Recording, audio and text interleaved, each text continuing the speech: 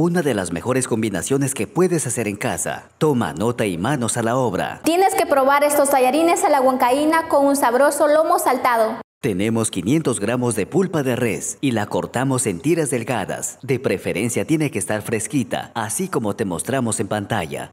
Luego en un recipiente echamos sal al gusto y un poco de pimienta. Mezclamos muy bien para empapar de sabor toda la carne y la reservamos. Mientras tanto, vamos con las verduras para la huancaína. Cuatro escabeches grandes, de los cuales retiramos las venas y semillas para evitar una salsa demasiado picante y corta en trozos medianos.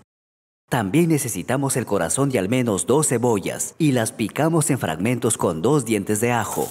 Lleva al sartén con aceite caliente todos los vegetales, salteamos para darle un sabor espectacular y deja cocinar durante 5 minutos a fuego bajo.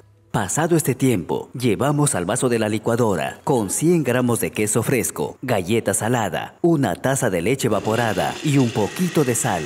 Si deseas puedes pasar por un colador, de esa manera se logra una textura más suave y fina y dejamos en reserva.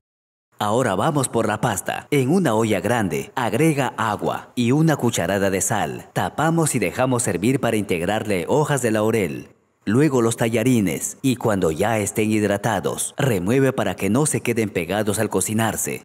Dejamos servir entre 10 a 12 minutos hasta que estén al dente. Luego pasa por un colador y dejamos enfriar.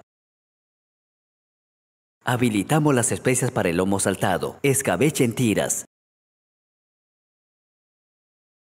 dos cebollas y tomate sin piel, cortado en gajos.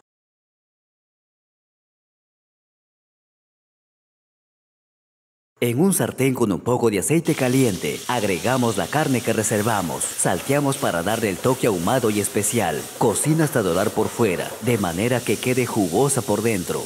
Para darle más sabor, echa una cucharadita de ajo y dejamos dorar este ingrediente. Un chorrito de vinagre, escabeche y cebolla que reservamos, salsa de soya o sillao, salsa de ostión, una cucharadita de mostaza y mueve para saborizar los vegetales. Agrega también el tomate cortado en gajos, un poco de agua o fondo de res. Dejamos que reduzca la salsa y que las verduras cojan sabor durante dos o tres minutos. Ratifica sazón, espolvorea culantro finamente picado y cebolla china. Movemos y listo. Nuestro lomo saltado quedó delicioso.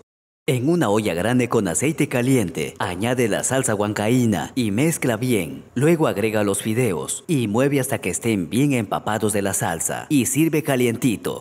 Si llegaste hasta aquí viendo la receta, déjame este mensaje. Me encantó los tallarines a la huancaína para enviarte un saludo especial en el próximo video. El saludo de hoy es para Petra Juárez, Carmen del Pilar Saavedra y nuestros nuevos seguidores. Somos Iberoteca, navegando contigo.